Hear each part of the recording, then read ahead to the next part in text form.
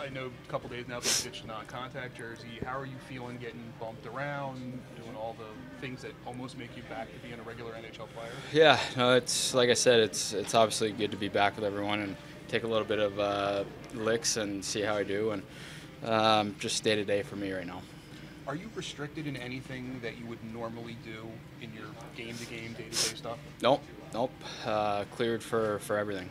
How's your body reacting to the to the physicality of practices and stuff like that? Yeah, it's it's been it's been pretty good. Uh, you know, a little bit of an adjustment, but it's uh, you know just working out the kinks and and you know uh, I'm getting close, but not not uh, not enough to where I think I can help this team right now. But uh, I'm closer than than not. Is the fact that it was an upper body injury, at least, did that allow you to skate and do cardio stuff so you're not kind of starting from ground zero as you're getting back into the process? Yeah, yeah. I mean, um, you know, obviously before when I wasn't skating, I was able to you know get on the treadmill and on the bike and the elliptical and the versa climber and uh, the ski. I mean, there's everything you could think of. Uh, so yeah, I've, I've, obviously tried to stay in shape as much as I could, um, but it's obviously there's nothing you could do to stay in hockey shape uh, unless you're obviously skating. Yeah, that, that was kind of going to be my question about conditioning. You missed a lot of camp, and obviously the you know you're jumping in. These guys have played for a, a month and a half.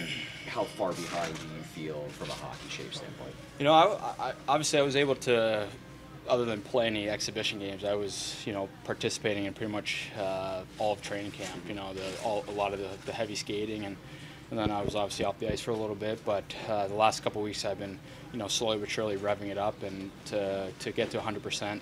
Uh, and I did that uh, earlier uh, in the week, and I'm just going day by day right now. For skilled guys, they always say it's it's to feel the puck, getting the touch, getting the hands back do you feel like your timing is getting closer to being there?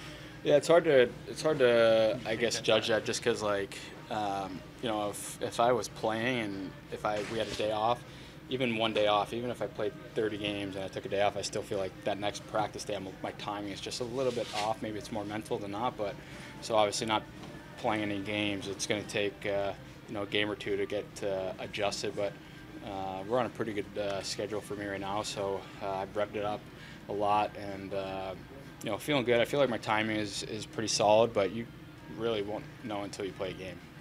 Cam, I know you said you, you don't want to talk about the details of the injury, but we, we talked to Chuck earlier this week, and he said that this was something that you dealt with before. Why do you think it just took longer this time versus the, the first time? Uh, I think it's just uh, you know a little bit different, uh, more severe injury that uh, it takes a little bit more time to let it heal naturally.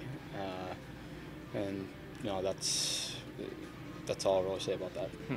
When you say that, like your day to day, how do you kind of check in with yourself or evaluate evaluate yourself at the end of each skate, every workout, to just like make sure that you're kind of trending in the right direction? Yeah, I mean, uh, with the team that we got here, the uh, medical guys and uh, you know our strength guys, we're on a pretty strict protocol uh, as far as percentage and uh, working off your workload of a game-like situation. So um, the last two weeks, I've obviously slowly but surely revved it up to you know get to back-to-back game situation, and uh, it's good that obviously my legs and every, everything are there, my recovery's there, but I'm still not uh, comfortable putting myself in a position to, to you know to play a game, and until that, I'm just going to have to keep going day by day.